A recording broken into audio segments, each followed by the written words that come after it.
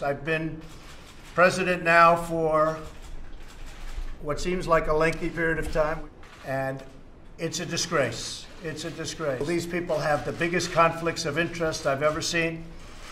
It's frankly a real disgrace. It's a, an attack on our country in a true sense. It's an attack on what we all stand for. Uh, so when I saw this and when I heard it, I heard it like you did. I said, that is really now in a whole new level of unfairness. This is ridiculous. This is now getting ridiculous. And all of the crimes that were committed, they're not looking at all of the things that happened uh, that everybody is very angry about, I can tell you.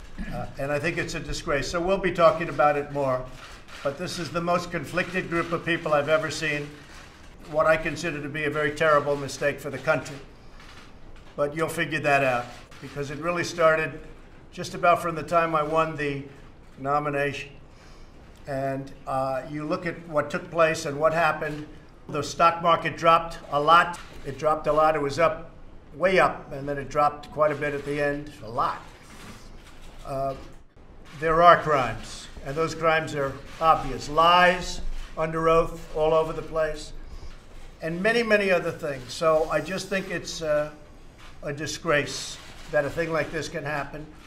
We can't let atrocities like we all witnessed, and you can see that, and it's horrible. We can't let that happen. In our world, we can't let that happen. Especially when we're able to, because of the power of the United States, because of the power of our country, we're able to stop it. I think it's uh, disgraceful, and so does a lot of other people. Thank you very much. Thank you. President Osea, will Rod Rosenstein keep his job? Thank you. Will Rod Rosenstein keep his job? Thank you all very much.